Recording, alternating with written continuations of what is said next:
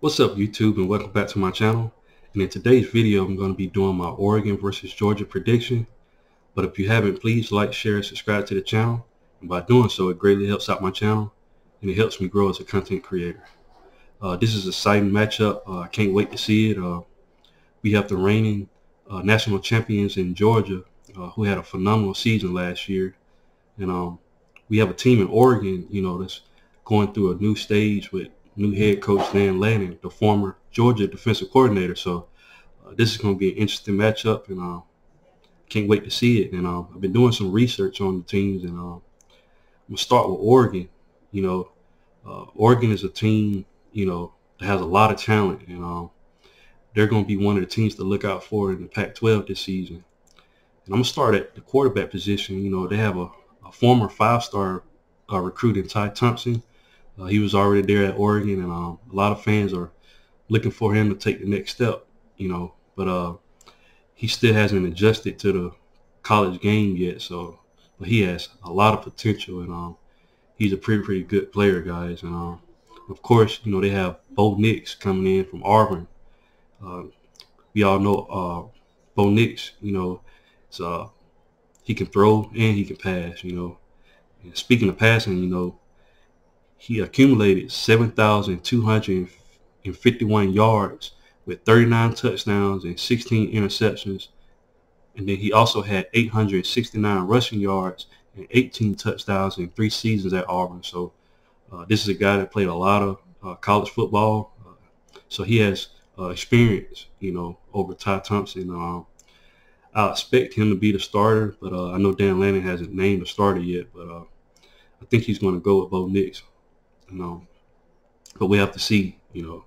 And plus, you know, he has experience playing Georgia. Uh, he's he was never able to beat them, but uh, he got a good chance this year, you know, because uh, Oregon has a very, very good uh, offensive line coming back this season. You know, their O line could be one of the best in the country this season. So it's going to be interesting to see what Bo Nix does with a, a great O line. And at running back, they have Byron Cardwell. And he had 61 carries with 417 yards. And he was averaging 6.8 yards per carry, guys. So uh, that's pretty good. And he had three touchdowns last season. So uh, I expect those numbers to go up, you know, especially with this O-line that they have. And uh, he's definitely going to be a running back to look out for. And then at wide receiver, they have Troy Franklin and will be probably the top receiver you know, in the offense. You know, uh, that's another good guy that they have at at the wide receivers uh, position. Sorry. Then they have tight end Terrance Ferguson, uh, who's six six guys, and he's definitely going to be a weapon. Uh, very very big uh, tight end with nice frame. So uh, seems like teams in college football now are trying to get these type of tight ends, you know, this type of height, you know, because it's almost impossible to defend against them, you know, in the defense. So uh, that's another good thing that Oregon has going for them.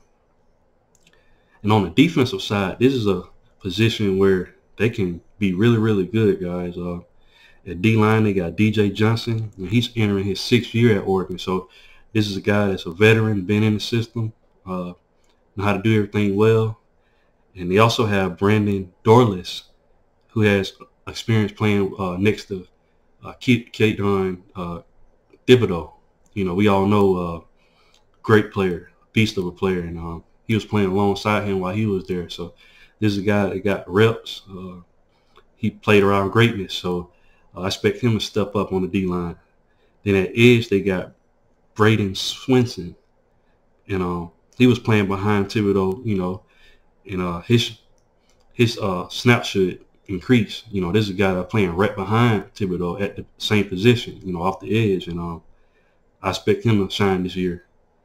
Then at linebacker, they have Justin Flowe, uh, who was injured. He's been injured and everything like that, but he was highly recruited. And if he get at 100%, he's going to definitely be a beast for Oregon's uh, defense. And, um, and of course, with Justin Flowe at linebacker, they have Noah Sewell, uh, led led the team in tackles. And um, both seasons since he's been there. So uh, he's definitely going to thrive under Dan Lanning's defense, guys. Uh, he fits right in with his scheme and everything. So, uh, then at cornerback, they have Christian Gonzalez is a guy that came, I think he came from Colorado. Uh, very, very good cornerback. You know, like I said, uh, the way Dan Lanning schemes, you know, his defense for Oregon can be very, very good this season. Then to switch over to Georgia. Like I said, quarterback, you know, they got Stetson Bennett, you know, uh, national champion, you know, led his team to the national championship and he actually won it.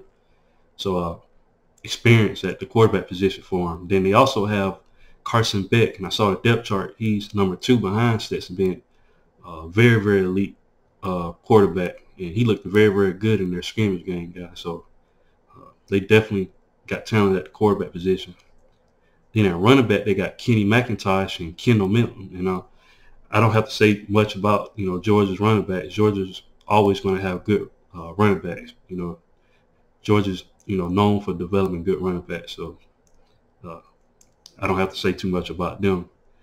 And that wide receiver, they got A.D. Mitchell and Ladd McConkey two guys is very, very talented, you know, at the wide out position.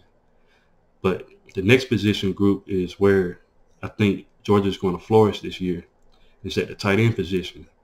Uh, they have Brock Bowers. What can I say? A beast of a player. You know, uh, he was tearing my team up. you know, uh, he's definitely going to be a tight end. You know, that's going to be uh, to look out for. And then they also have Darnell Washington, another big guy with big frame. Then they also have Arik Gilbert from LSU, another talented guy. You know, so those three tight ends is going to be like a three-headed monster, and especially if all three of them out there on the same time, that's that's going to be uh, tough to defend. So uh, I think Georgia's offense is going to, you know, kind of lead them this year just a little bit. You know, be able to keep up, you know, until the defense gets uh, up to par. But speaking of defense, really, if you think about it, I wouldn't be shocked if Georgia defense is probably going to drop off just a little bit, but uh, Kirby Smart is known for, you know, rotating his players. Um, they got a lot of guys come back guys, and at the defensive tackle position, they got Jalen Carter, who is a beast. I've heard some people say, you know, he's better than Jordan Davis, who was a beast last year. And um, I think he got more snaps than Jordan Davis, if I'm not mistaken. So uh, he's set to make a, a breakout year as the starter. They also have uh, Zion Logue at uh, nose tackle position. Then they got two guys that they got back on the edge, and Nolan Smith and Robert Beal, uh, two beasts of a player. So uh, that pass rush is going to be nasty for Georgia. Then you know on the back end they got Kelee Ringo, you know, a guy that flourished in the national championship game, and um, they also got Christopher, uh, Christopher Smith at safety. So like I said, guys, uh, Georgia might drop out just a little bit, but a lot of people are overlooking Georgia's defense, thinking, you know, because they lost so many guys on defense that, you know, they're going to take a huge step back. I, I don't see it happening. Uh, they still going to have a top 10 defense. I, I, can guarantee you that.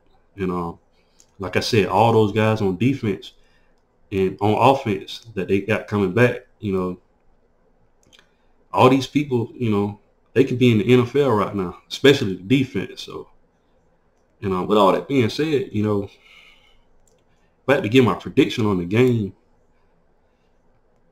it's going to be a game at first. I think, uh, like I said, Oregon has a great offensive line. It's going to be fun to see their O-line go against Georgia's defensive front.